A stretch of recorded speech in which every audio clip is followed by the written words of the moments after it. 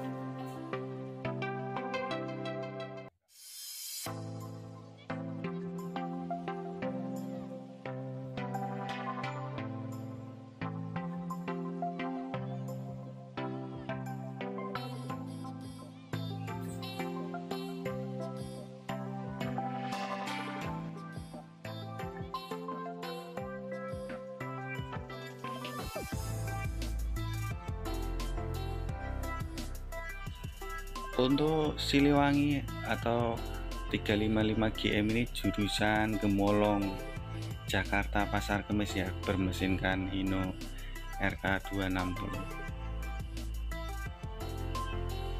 berkaroseri Adi Kutro dengan nomor 7355 kemudian yang di sebelahnya ini ada Garuda Mas Purnia dengan tujuan Pasar Kemis Jakarta Cepu ya terpantau terparkir di Pasar Kemis dengan SR2 HD Prime.